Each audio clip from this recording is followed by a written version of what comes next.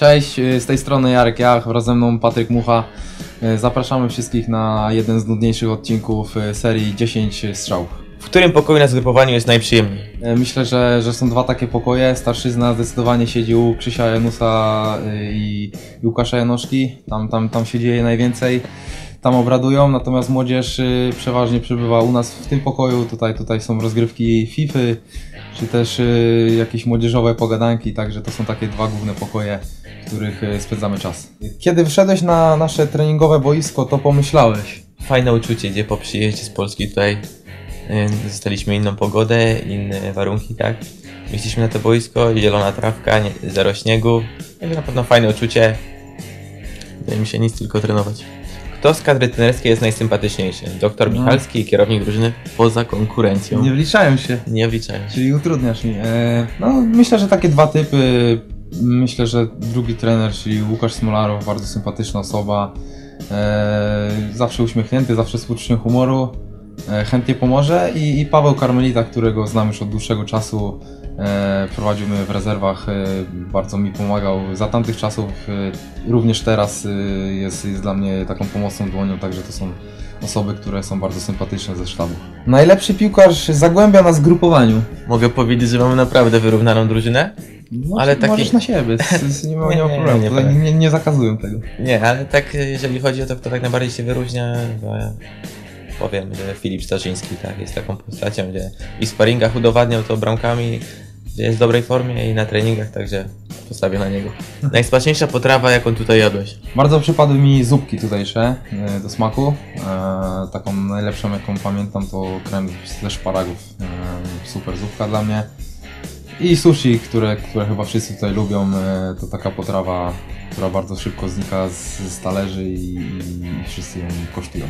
Szóste pytanie. Celem, który przed sobą postawiłem na wyjazd jest? Tak, powiedzmy, że moim celem na ten wyjazd jest mm, dawanie z siebie maksa na treningach, pokazywanie trenerom, że mogą na mnie liczyć. Nie wiem, i wyrobienie sobie jak najlepszej pozycji w zespole, bo to jest tak naprawdę teraz najważniejszy cel. Jak relaksujesz się po treningach? No po treningu to klasa, bo tutaj jest y, basenik, e, są sauny, e, także często na nie, na nie chodzimy.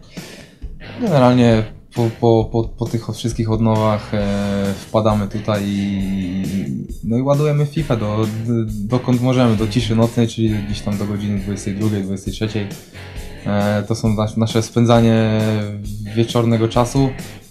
E, jeśli jest okazja, to, to też również wychodzimy nad morze lub, lub na miasto, e, przejście na, na świeżym powietrzu. Myślę, że to takie sposoby nasze na... Trzymeczkę też chyba czasami sobie, nie? Utniemy małą. No drzemeczka, ale drzemeczka to już tak, no, tak w ramach, od, w ramach odpoczynku, jak już nie dajemy rady między treningami, bo treningi to też czasami są, są dość ciężkie, także, także to obowiązkowo przed drugim treningiem, bo, bo nie dojedziemy na trening generalnie. Ciężko mogło być. E, tęsknię za Polską, bo.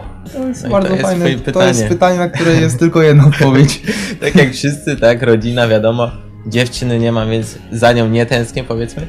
Ale no co, nie pozostaje mi nic innego, jak powiedzieć, że tęsknię za Polską, za, za rodziną, za siostrą.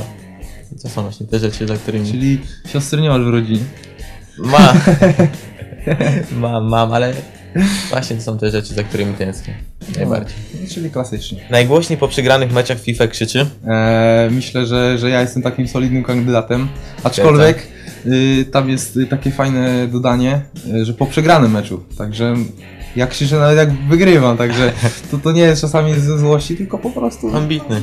Am, Ambitny am, jest to ambitny, no to po prostu chce każdy w każdym meczu wypaść jak najlepiej, także to się zdarza, ale też y, wyróżniłbym Adasia Buksę, który, który też y, mm, wcale nie jest ode mnie gorszy i, i myślę, że, że, że taka nasza dwójeczka to tak prze, przewodzi w tym rankingu zdecydowanie.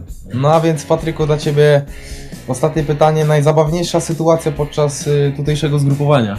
Mając w drużynie Krzysia Janusa i naprawdę Jecika powiedzmy, tą dwójkę jako takich najbardziej zabawnych e, ludzi, to nie może być nudno, tak? Także Jakiś na, konkret musisz, na każdym, konkret na każdym kroku są jakieś żarty, kawały, tak? Ale żeby wyróżnić taką jedną sytuację, no może być naprawdę ciężko. Jarku, może ty To masz jeszcze jakiś... odpowiedzieć, bo widzowie oczekują od cie- od ciebie Ja tego, wiem, że oczekują, podasz ale- jakiś konkret. niektórych sytuacji naprawdę aż nie można powiedzieć, bo mogłyby zaszkodzić. Myślę, że kawały opowiadane przez Woskiego e, z Tak. tym jego modulowanym głosem całkiem Tak. fajnie, fajnie się komponowały i naprawdę cały autokar miał ubaw podczas y, jazdy na trening, także takie, taka rzecz na pewno do wyróżnienia. Dokładnie. Aczkolwiek y, y, nie, nie sprzedamy konkretu tego kawału, bo, bo jest dość taki powiedzmy niemoralny, No, ale, ale autokar się uśmiał i, i by- było to, to, czego oczekiwaliśmy. Dziękujemy wszystkim za uwagę. Mamy nadzieję, że się podobało. Zapraszamy na wszystkie mecze rundy rewanżowej Zagłębia Lubin.